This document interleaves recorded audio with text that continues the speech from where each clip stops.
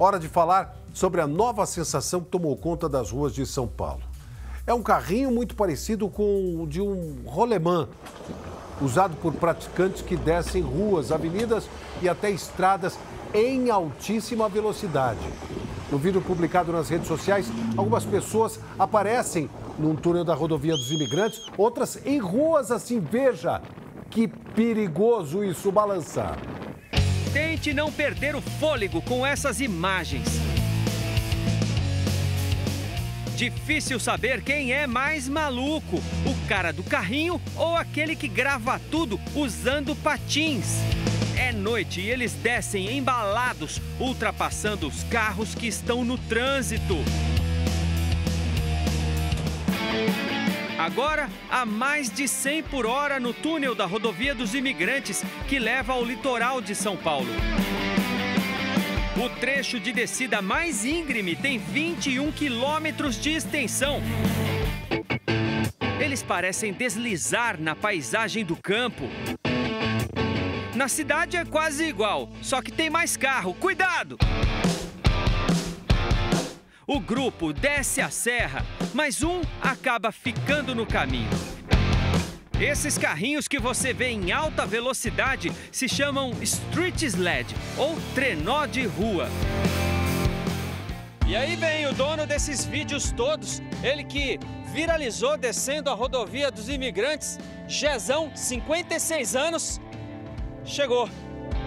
Esses vídeos têm mais de 100 mil visualizações, mais de 2 mil compartilhamentos e entre os comentários, o mais, o que mais aparece é na verdade uma pergunta que eu vou reproduzir aqui para você pessoalmente. Tem medo de morrer não? Bastante.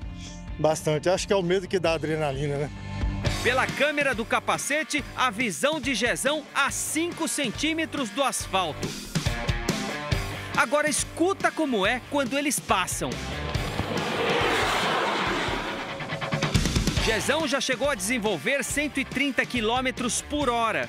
É uma adaptação do esporte do skeleton ou do bobsled que é praticado no gelo. A gente vê isso nas Olimpíadas de Inverno, né? Aquele trenozinho, o pessoal desce bem rápido. Aqui também a gente conseguiu reproduzir a velocidades que eles reproduzem lá. O recorde registrado no Canadá é de 159,29. É um carrinho, né? É feito do quê? Qual é o material?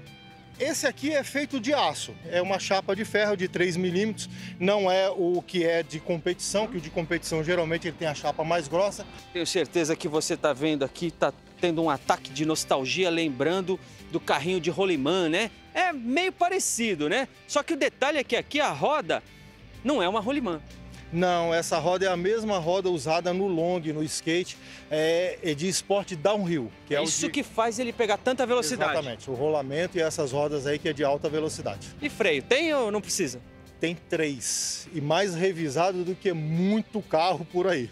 É bom ter mesmo. Olha essa descida de serra. O terceiro colocado ultrapassa dois de uma vez e anda na contramão.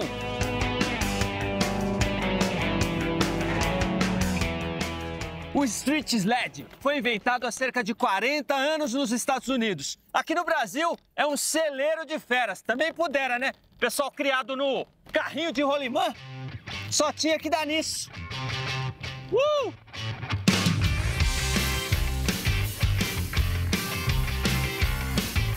Bom, é importante a gente lembrar que o esporte envolve riscos, né? Rodovia dos imigrantes. é loucura, né? A gente, é, com a prática, vai desenvolvendo a técnica para se adaptar a esse perigo. Já teve problema com a polícia por causa disso? Sim, sim. Às vezes param e chamam atenção.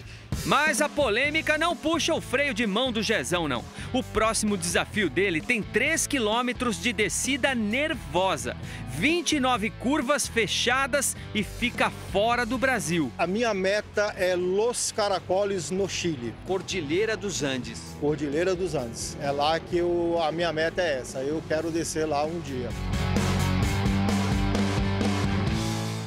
Muito bom que você desça aí, mas olha, vale lembrar que Rodovia dos Imigrantes não é lugar para isso, né? Então precisa ter é, consciência e muita responsabilidade, porque além de perigoso, você pode causar outros acidentes. Agora, se tem autorização, manda bala, porque é adrenalina para todo mundo.